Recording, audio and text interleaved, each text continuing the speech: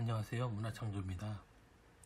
분석 10 회의록에 대해서 말씀드리겠습니다.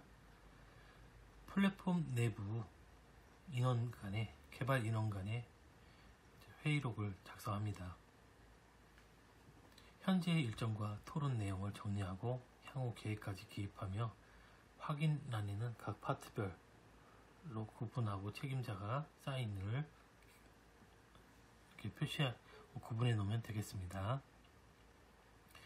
회의가 단순히 시간을 뺀 것이 아니라 어떤 회의든 의미 있는 일이 있을 수 있고 어, 그걸 통해서 음, 좀더 어, 발전적인 플랫폼을 어, 만들어 가자 그런 내용의